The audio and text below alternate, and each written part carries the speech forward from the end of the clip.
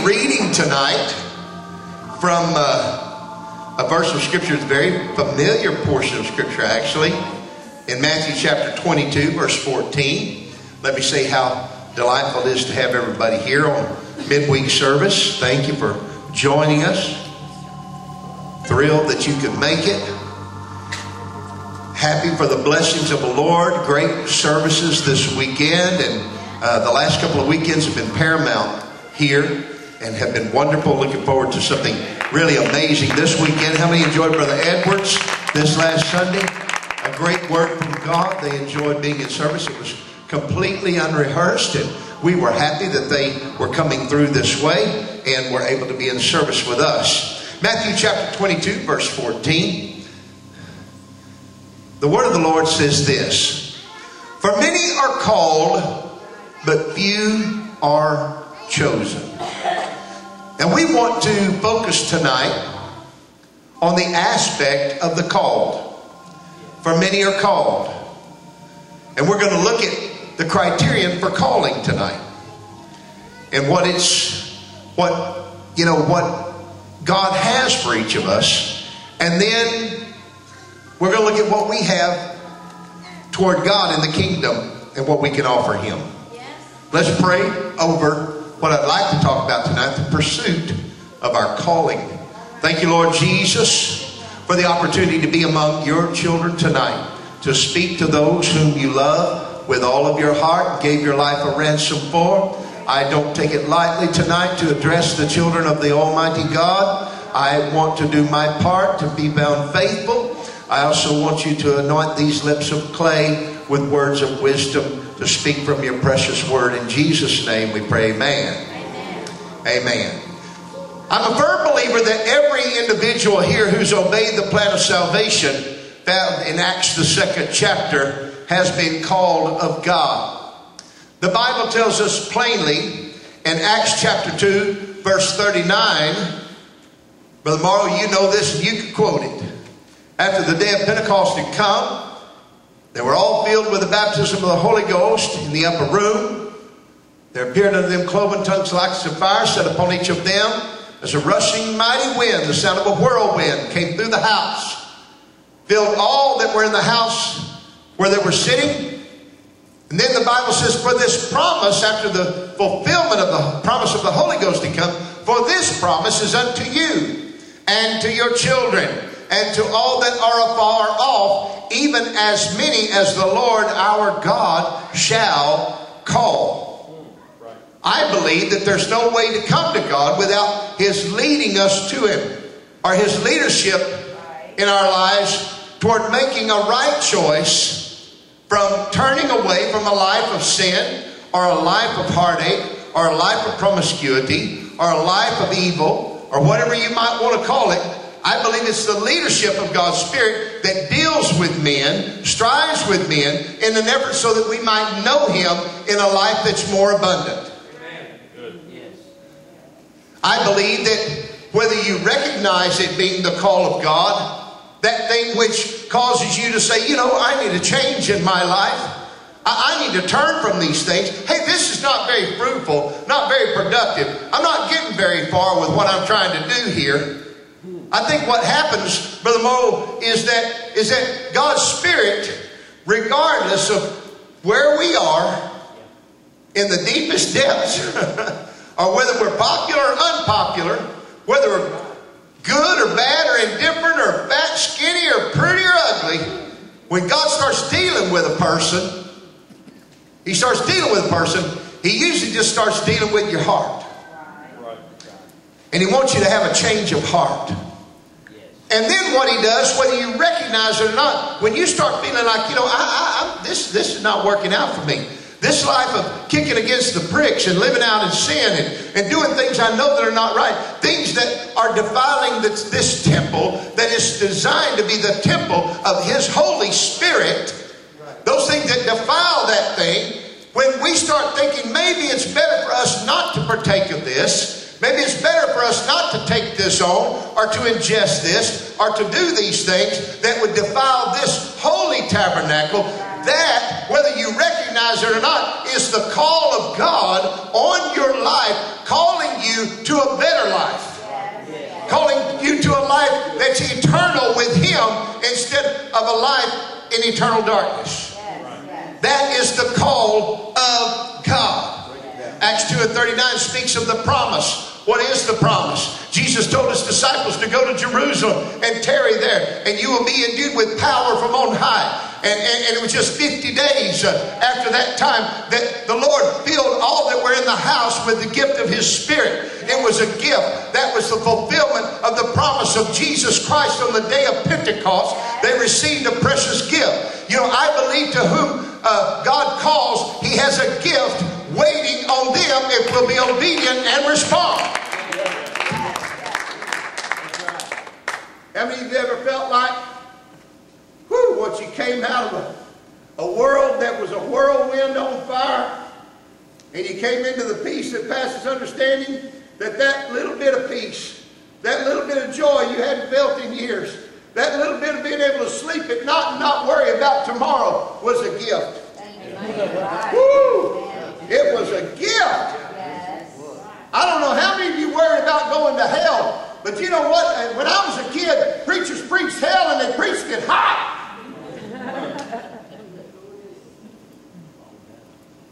When I was a kid, preachers preached about a literal burning fire.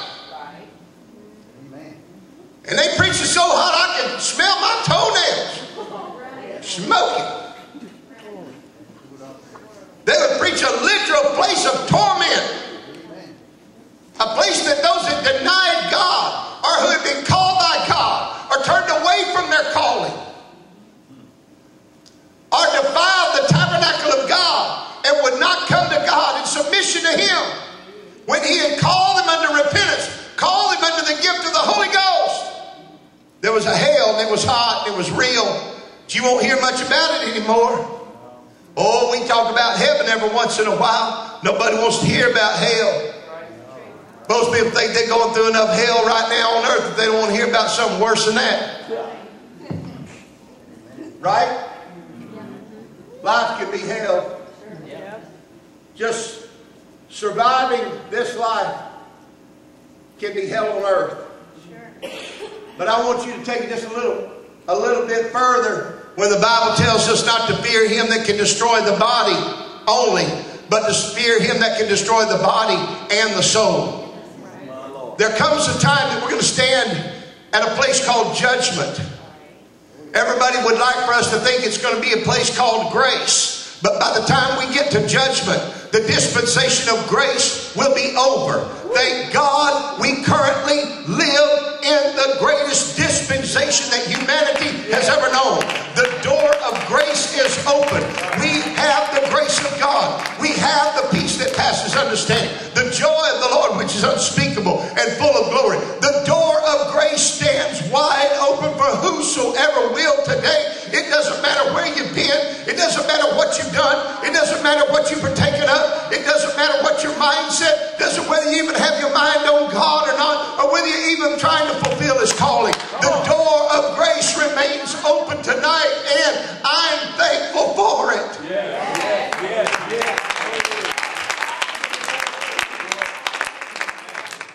You know why, Sister Bradley? Because the day the door of grace shuts, the Bible harkens it unto, likened to the same day back in Genesis when for 120 years Noah preached that same message. He preached his, his entire ministry. Get in the boat for 120 years. And there were people who laughed and scorned and mocked. And the Bible said that every man in that day did what was right in his own eyes. My Lord, does that sound like today? Amen. Does that sound just like today? You know, people will just defy you if you tell them they have to do anything. I don't know. I haven't talked with our teachers. That teach in public school, but I'm sure you are greatly challenged today if you try to set up some guidelines and rules and parameters as an adult, male or female, in your classroom with little kids that have been told by their parents. Now, I don't know whether they're millennials or X Factor or Generation X or Generation Triple But a lot of parents tell their kids, question everything. Question everything. I will tell you this if you're raising your little son or daughter to question everything, there will come a day, honey, when you tell them something that they need to do or they must do, and they will stand up and look you dead in the eye and question why. And I'll tell you this, even when you give them the answer, if you taught them little darlings from the cradle to that time that they have to question everything, you will have no authority before long. And you will not be the parent, and you will not be the head, and you will not be able to lead them into all truth. That's good. Who a pastor now? Pastor. Ain't not enough water to start that topic. well, get some more. Now I will tell you this. Now I, I know that, that children need more than, than this. Because saints, the children of God, need more than this. Children need more than because I said so. But I will tell you this, children, of God, we got something better than because I said so tonight. We got something here, Sister Courtney, that says because he said so. And unless he is truly the Lord and he is seated in the proper place in your life, which the Lord will not be seated anywhere but in the proper place. Unless he is upon the throne, he cannot be Lord. I said the throne, not a throne in your life. Not to be there along with other gods you've erected or you are obedient to. He has to sit on the throne of your life. You know what? Just as He has the answers to the tough questions in life, parents and grandparents today are challenged to answer tough questions. But you know what? When you need the answer, Adrian, you can always go back to the textbook. I said you can go back to the benchmark standard and say, the word of the Lord says this. And you know what? There's something we need to be teaching our children and our families is that all the promises of God are both yea and amen. And it is impossible for God to lie. And God is every bit as good as His Word. As a matter of fact, the Bible says that God is the eternal Word. You heard a mic drop? Bible drop that, baby.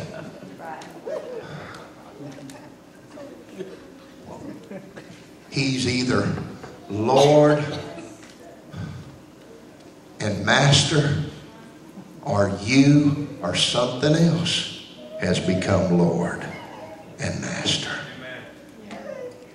I believe that when we start feeling the tug, we start feeling the the nurturing. We start feeling the love of God calling us out darkness, the Bible says, into his marvelous light.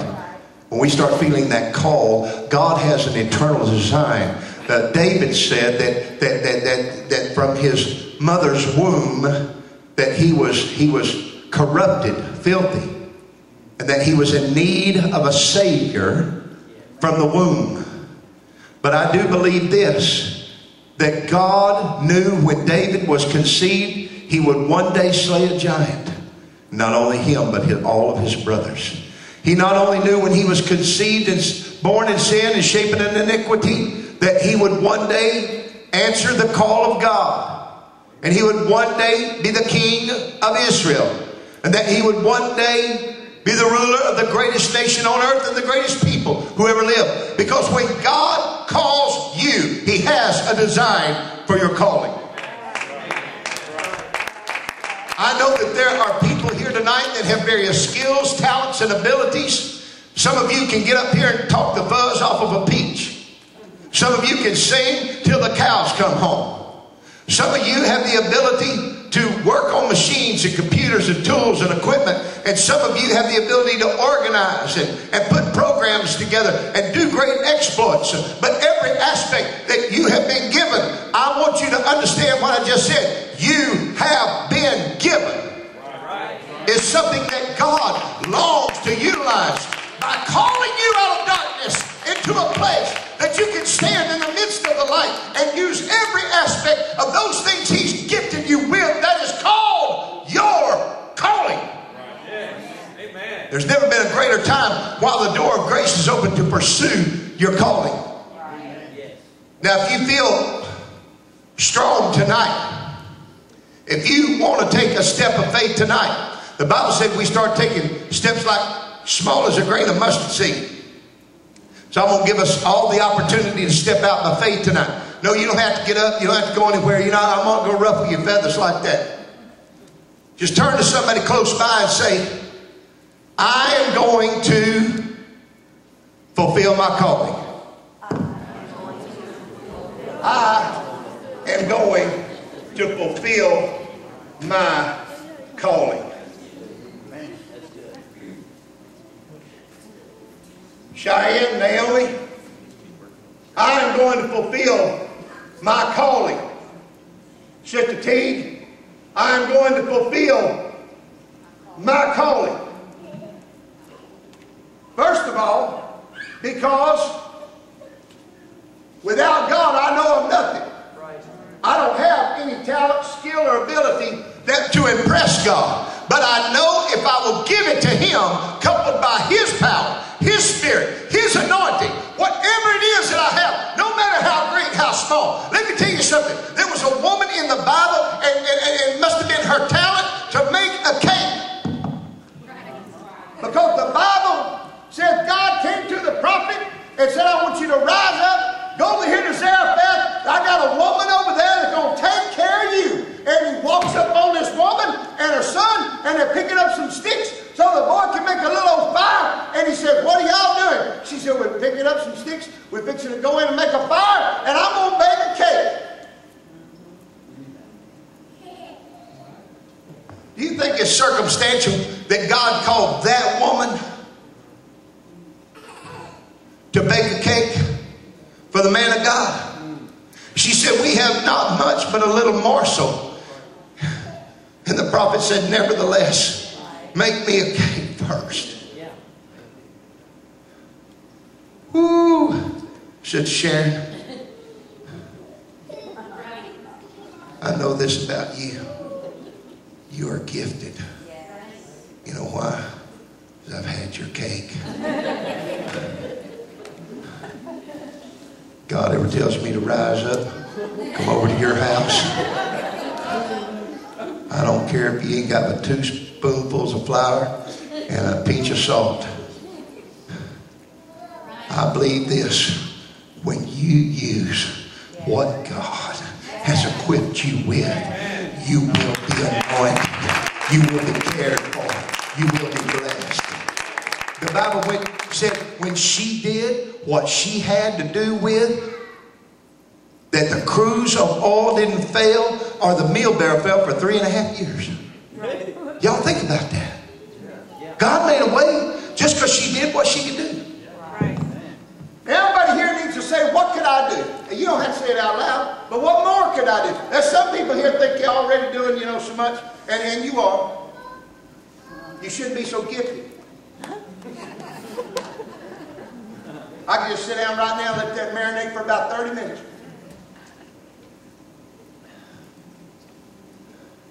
Do you regret being important to the kingdom?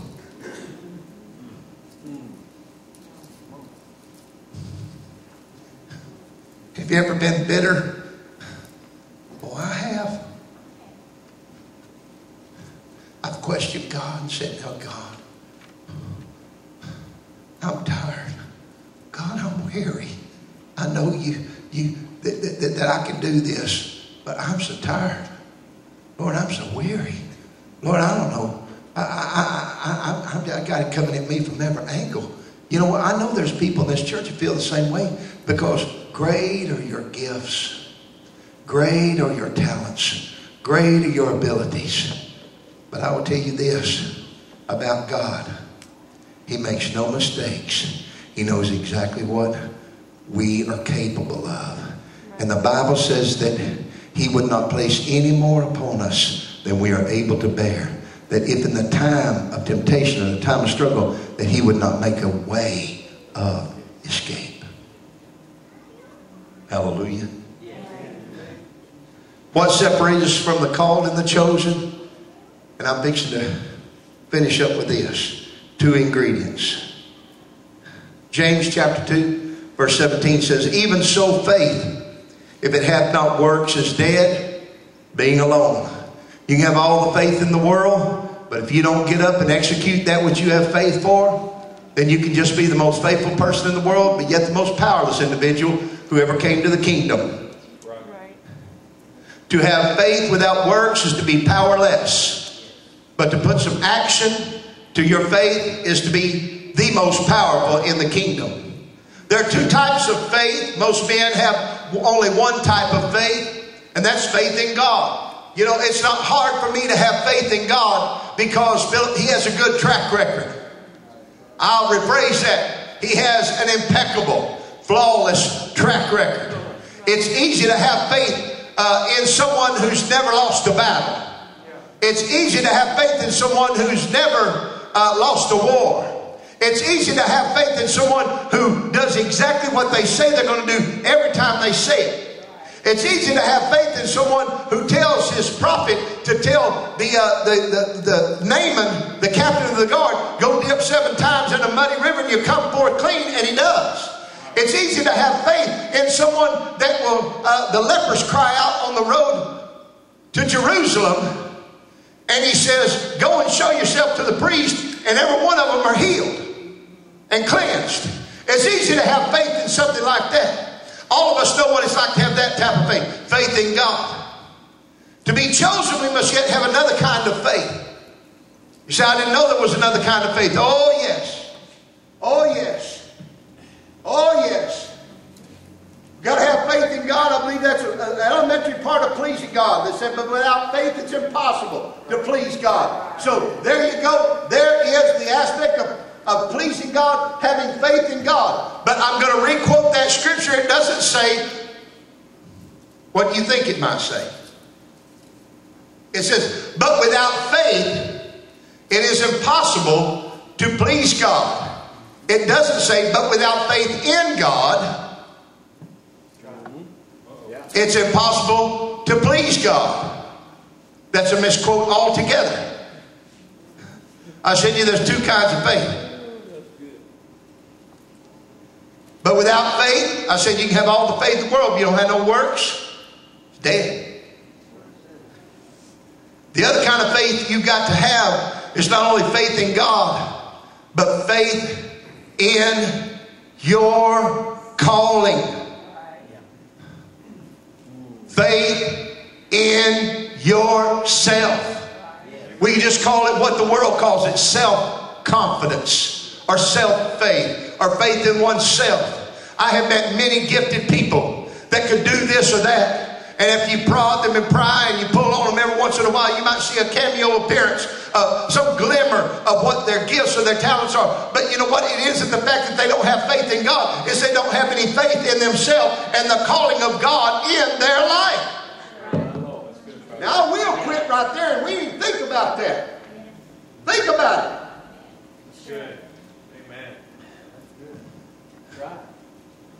For us to be gifted and someone call upon us, namely the Lord, the people in the church, the people doing the work of God, the people that are needing help in the kingdom of God, and for us to say, oh, uh, I, I, you know, I, I, I can't do that. No, no, no. Yeah, please get somebody else. Oh, oh no, no. I, I'm not. I'm not really. I'm not as good as this one. I'm not as good as that one. Let me tell you something. God don't care if you're as good as this one or as good as that one. He just wants to know, will you fulfill the calling that he's put on your life instead of the calling of comparison that you placed on somebody else's ministry?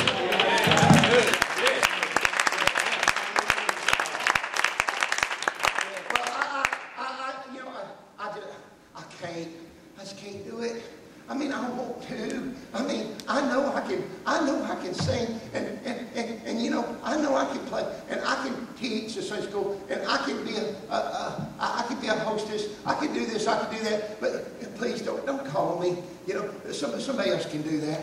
Somebody else can do that. Okay, I'm gonna get down where the rubber meets the road. I'm gonna fold up my notes now. Take my last drink of water here tonight. Anyway. Gotta rephrase that. Gotta rephrase that.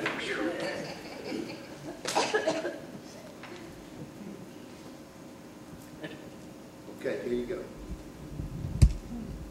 When you do that, when you say that, oh no, no, no, no, you please, you have to ask somebody else. I, I, I just can't.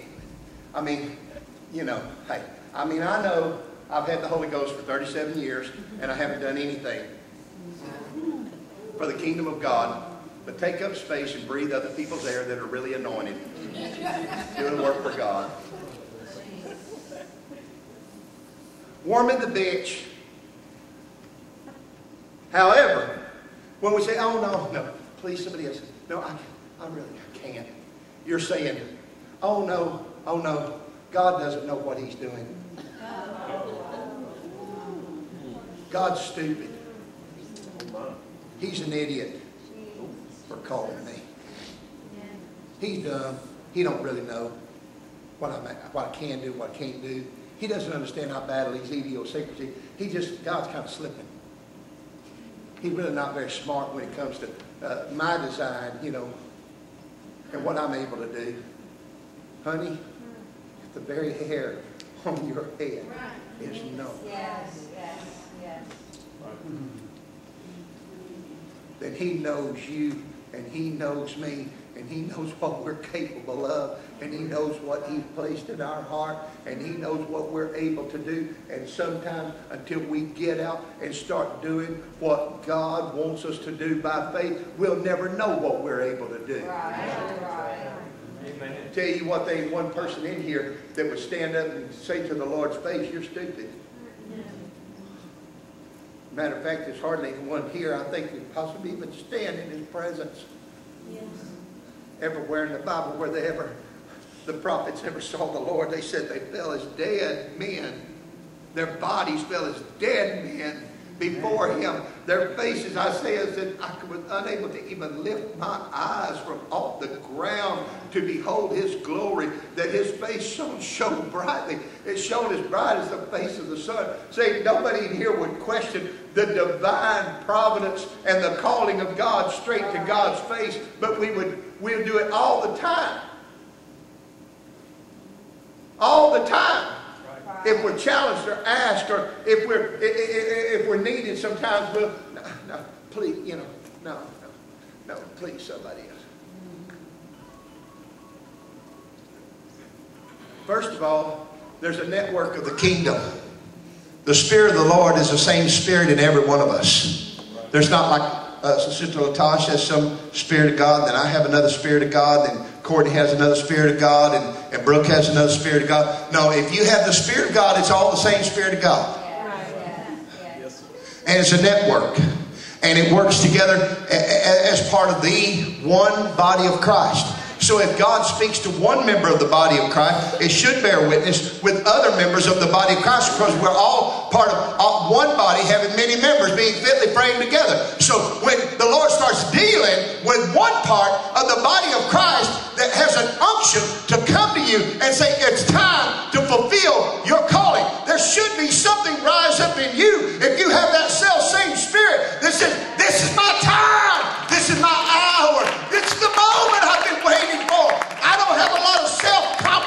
a lot of self-faith, but I've got faith as a grain of mustard seed that who God calls, He is able to equip. The correct answer to the question is this. Yes, I will try it. Yes, I will do it. It might not be the very best to begin with, but I will give it my very best try. Because remember, honey, you're not doing it for me, and you're not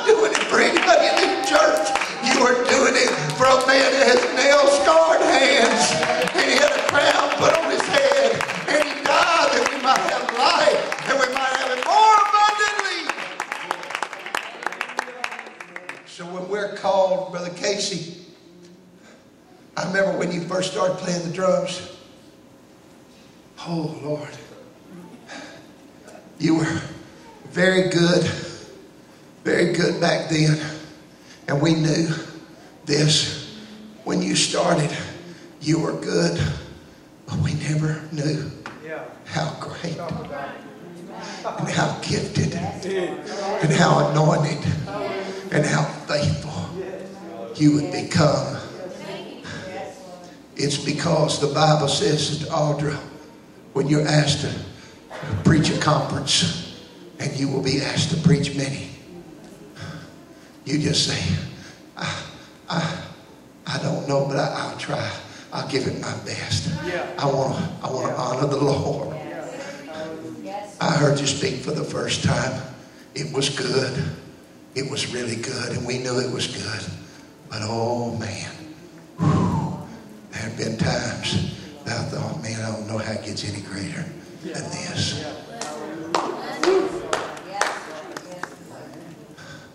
I came to you tonight because I love you.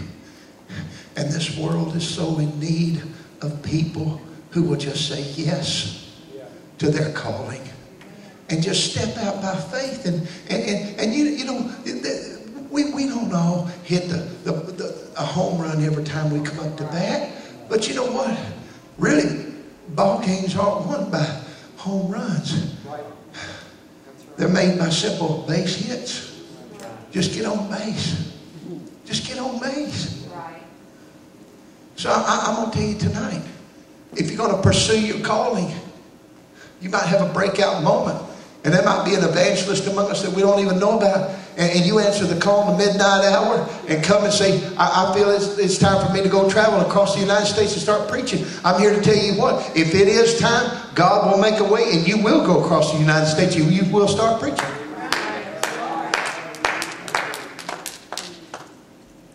But it starts with just simply saying, okay. Instead of saying, Lord, you're dumb for asking me. Lord, you're dumb for calling me. Lord, you, you're stupid. That's crazy. Uh-uh. No, I don't want that to ever cross your mind again. And nobody, there'll be people here who'll never forget me saying that. But you don't ever have to mean that, design that, or frame those words from your lips by saying, no, no, please, no. Somebody else, not me. Whom God calls, he makes able. Would you stand with me? He makes able. You say, well, I, I just, to be fair, I, I just don't need the spotlight. I don't, I don't need to be recognized. I don't need to, to be out front. I don't need to be a leader. When in reality, without people in the spotlight, without people to take lead, without people to one day stand before others and say, This is the way, walk you therein. This church is doomed. Sure. I'll ask you this. There'll come a day that I won't be here. I hope that's a long time from now. It almost happened a minute ago when I said it's my last drink of water.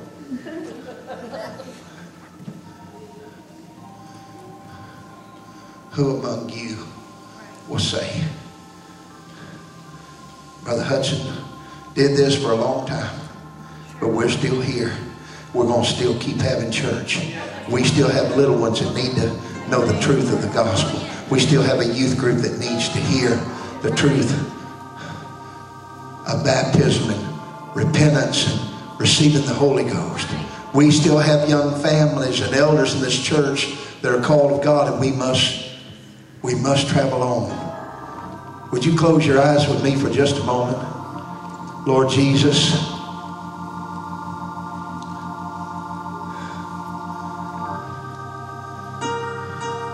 I stand here tonight, Lord, and, and, and, and I know that I speak for someone here that's saying, I, Lord, I, I really don't know what you want me to do. I really don't know what my calling is.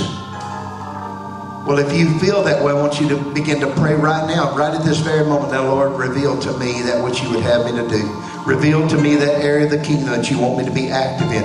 Reveal to me, Lord, that which you want me to be a part of. Now, we'll tell you this God will never tell you something, lean on you, or call you to do something that is impossible for you to do. You just got to have faith that it will come to pass.